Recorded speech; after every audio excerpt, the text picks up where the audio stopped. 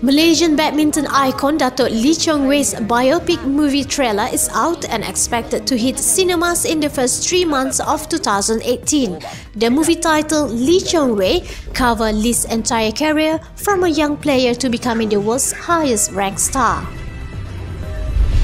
A total found trapped in bundles of cocaine worth 53 million US dollar has been rescued by the US Coast Guards.